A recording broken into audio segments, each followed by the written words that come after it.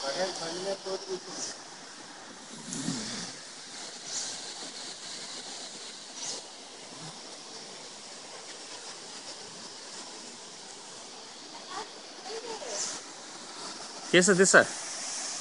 సార్ అది ఇచ్చేసి మన వాళ్ళకి